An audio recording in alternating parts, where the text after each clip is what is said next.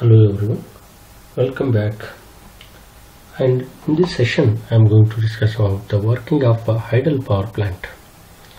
Hydel power plant or a hydro power plant we will call, where the potential energy of the water is converted into a electrical power.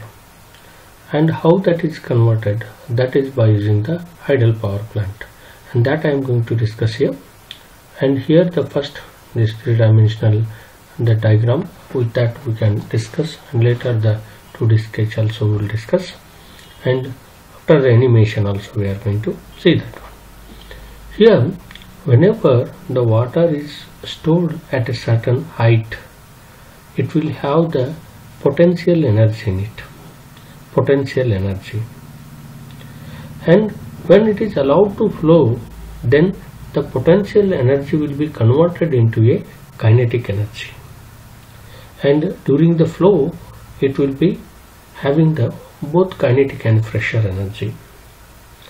And at the entrance of the turbine okay depending upon the type of the turbine what we are going to use okay that uh, both pressure and kinetic energy may be converted into mechanical energy or the kinetic energy first it is converted by using the nozzle and then it is converted into mechanical energy. That is about the how the energy conversion will be taking place. For that what the arrangements are required. Here natural whatever the flow of the water is there through the river that is stopped by using the dam. The dam is a wall constructed in order to uh, stop the water and store the water in the reservoir. Now whatever the stored water is there that we'll call as reservoir. Then whenever the water is stored in the reservoir then it will have the certain uh, head the vertical distance of the water. It is called as head. Then it will have the certain head and that as the head is increases the potential energy increases. Then that potential energy will be converted into that electrical energy we need to convert. Whenever there is a flowing of the water it consists of the total sum of the energy that is a potential energy kinetic energy pressure energy. At any section if you take the total energy as same. The sum of the potential energy kinetic energy and pressure energy at this section and that is equal to at this section means one form of energy will be converted into other form. Here the potential energy is more and while flowing it will convert it into kinetic energy. Then here it will be converted into that pressure energy or a kinetic energy like total energy it will be there.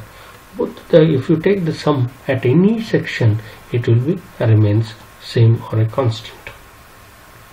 Then the stored water whatever is there in the reservoir that is connected to the turbine. Turbine is the device which converts the kinetic energy of the flowing fluid into a mechanical energy. And there are two types of turbines mainly. That is impulse turbine. If the energy available at the inlet of the turbine is kinetic energy only then we'll call it as a impulse turbine. And the energy available at the inlet of the turbine both pressure and kinetic energy then we will call as a reaction turbine.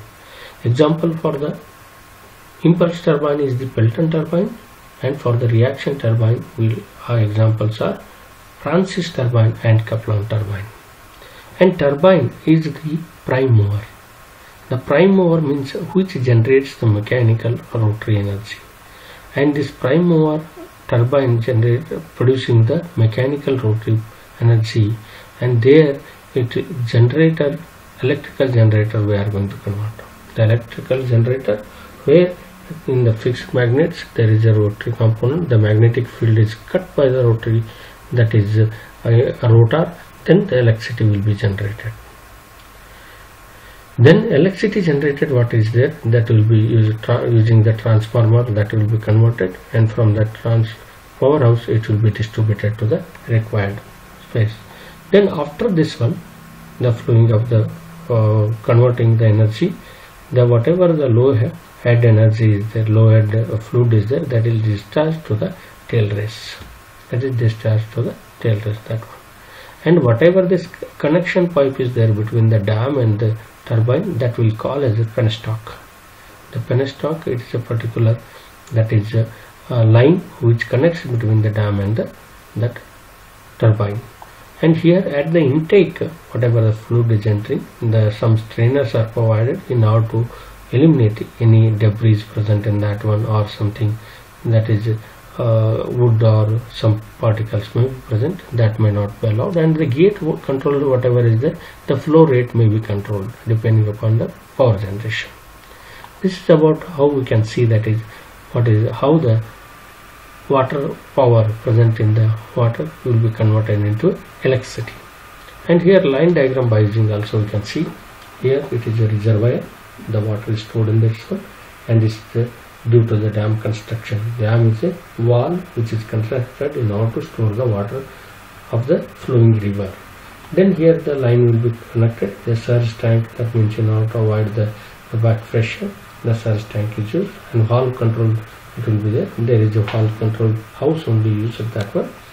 And then the pipeline whatever con connects this one that will call as a penstock which connects the that is water flow from the dam to the powerhouse. In the powerhouse, the turbine runs.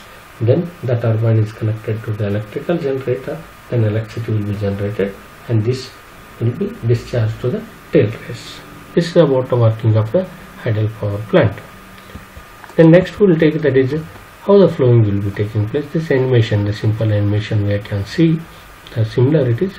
There is from the reservoir, the water will be flowing here and that enters into the turbine. In the turbine, the turbine blades rotates and that connected to the generator, the electricity generates and from that powerhouse through the power lines it will be distributed to the that grids. And this outflow of the water that will be flowing to the that tail race then what are the different parts are there?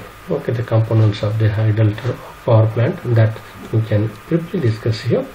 The reservoir the reservoir, water from the natural body like a river is stored in the reservoir. The reservoir is built at a level higher than that of the turbine because we need the whatever the head required for the operating the turbine. That is a vertical distance we need not have the potential energy. The dam, the flow of the water stored in the reservoir is obstructed by huge walls of the dam. Okay, the flow of the water whatever is there that is obstructed that is stored in the dam by, uh, in the reservoir by using the wall that's called as a dam. This prevents the water from the flowing and helps us harness the energy present in it. Okay for the harnessing the energy from the flowing water this dam helps. Dam consists of a gate present at its bottom which can be lifted to allow the flow of the water through them. The gates are provided order to flow the control the flow of the water most of the hydropower plant rely on the dam and holds back water, creating a, a large reservoir. The most of the power plants what are there which generates the electricity from this uh, hydel, okay, that will be depends upon the dam. Next one is the penstock. This connects the reservoir with the turbine propeller and runs in downward inclined manner. The inclined, the flow line it is, the pipeline it is. When the gates of the dam are lifted, the force of the gravity makes the water flow down through the penstock and reaches the blades of the turbine. As the water flows through the penstock, the potential energy of the water stored in the dam is converted into kinetic energy. Then next one is turbine. The kinetic energy of the running water turns the blades of the turbine. Okay, that is the kinetic energy due to the virtue of its velocity that is the kinetic energy. The virtue of position that will be potential energy. The virtue of pressure that it is a pressure or energy. The turbine can be either Pelton wheel or centrifugal type. The Pelton wheel it is impulse turbine.